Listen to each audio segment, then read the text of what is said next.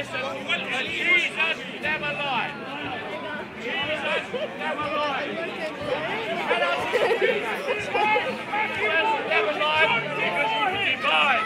And that's his scripture. was God. And Jesus rose again from the dead to prove it. Jesus had power over the dead. Jesus had power over the dead. Explain to me how. Jesus is alive. That's right. I'm not debating with you. I'm not even talking to you. I'm asking you a question. I'm talking to No you. question.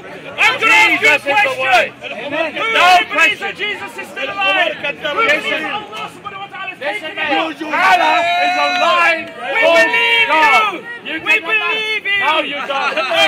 He's telling me we don't believe We believe in Jesus, but we don't believe in you. Me. You hold the devil in one hand and Jesus in the other. You call yourself Christian. God My can do friend, anything. that is wrong. Listen, I want to debate on this. Jesus is greater than Muhammad. And Jesus is greater than Allah. Because Jesus is the true God. Jesus is the true God.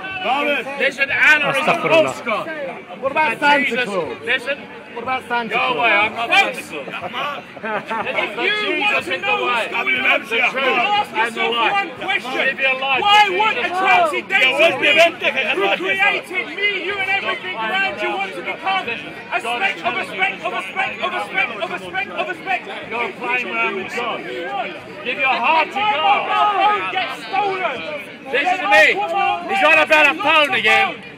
Listen to me. It's ringing, but no one's there. do it remotely. I want to tell you this, that Jesus God can do is the way to heaven. remotely from wherever Jesus he is greater than Does he Islam. need to come inside my Jesus is greater he need to than the Quran. Jesus is greater than all mankind.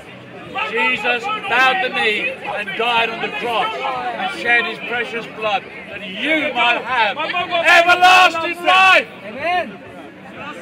Everlasting life. I'm offering in the name of Jesus to you. A gift.